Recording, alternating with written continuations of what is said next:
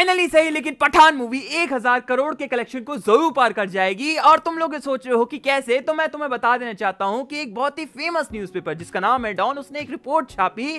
कि भैया पाकिस्तान में पठान मूवी को इलीगल तरीके से दर्शाया जा रहा है। क्योंकि कुछ दिनों पहले पाकिस्तान में फेसबुक में एक ऐड चलाई जा रही थी, जहाँ पे ये दावा किया जा रहा था की भैया मूवी की टिकट कर दो जो की नौ की है और मज़े से मूवी देखो, जिसका नाम है पठान। अब तुम लोग ये सोच रहे हो कि ये तो इलीगल है, कोई फिरकी ले रहा होगा, कोई मज़े ले लेकिन यार एड के नीचे एक नंबर दे रखा था, जिसको लगाने के बाद एक मैडम कॉल उठाती है और बोलती है कि, बुढ़बक, मज़े लेना चाहते हो? तो फ़िल्म की टिकट खरीदो रिलीज़ होने से पहले फ़िल्म की लोकेशन जान लेना। जहाँ आप लोगों को ये लग रहा था कि ये तो इलीगल है तो ऐसे कैसे तो मज़े की बात यह है कि फ़िल्म की लोकेशन भी मालूम चलती है और वो होती है पाकिस्तान की फ़ेमस सिटी कराची में। और यार, इतना ही नहीं, बल्कि फ़िल्म को डीएचए के अंदर दिखाया जा रहा था। मतलब डिफेंस हाउसिंग अथॉरिटी के अंदर दिखाया जाया था जो कि भैया गवर्नमेंट की प्रॉपर्टी है। उसके अंदर मज़े से लोगों को बुलाया जा रहा था। लोग मज़े से पॉपकॉर्न ठूस ठूस के मूवी के मज़े ले रहे थे। लेकिन यार, जैसे ही मामला टाइट हो गया, वैसे ही पाकिस्तान की फ़िल्म अथॉरिटी ने इस पे एक्शन लेते हुए ये कह दिया कि आइंदा अगर ऐसा कुछ होता है तो सीधा अब जेल होगी। लेकिन क्या आप लोग रुकना चाहेंगे?